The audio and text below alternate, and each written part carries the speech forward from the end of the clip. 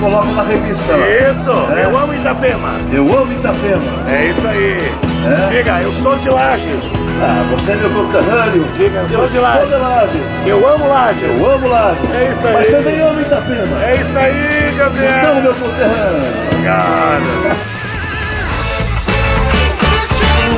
Meu amigo Gutão. Lajão também, né? Meu conterrâneo. Meu conterrâneo. Só bebendo uma caipirinha. Olha, Pra não, não vai, só